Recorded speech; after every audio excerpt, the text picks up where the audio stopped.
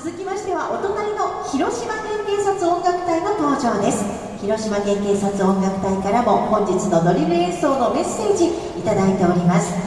皆さんこんにちは。広島県警察音楽隊ザ・メイプルウィンズです。広島県警察音楽隊は昭和25年に県民の皆様と警察を結ぶ音の架け橋として発足しました。現在は河野重森学長のもと住む人来る人誰もが日本一の安全安心を実感できる広島県の実現を目指し県内各地で広島県内各地で幅広い演奏活動を行っています。皆様に身近に感じてもらえるよう本年4月1日からザ・メイプルウィンズという愛称もできました。これからも皆様に愛される音楽隊として一丸となって警察活動演奏活動に取り組んでまいります。本日のステージドリルリバーダンスサンダーバードインザムードベートーベン作曲の交響曲第9番から歓喜の歌より第4楽章。以上4曲を披露いたします。スピード感あふれる体型変換とカラーガード隊員による華やかな演技や迫力満点のドラムソロにご注目ください。隊員一同心を込めて演奏いたします。最後までお楽しみくださいとのことです。それでは準備も整ったようです。広島県警察音楽隊のステージドリルスピリット・オブ・広島2023指揮を執りますドラムメジャーは学長の河野重盛です。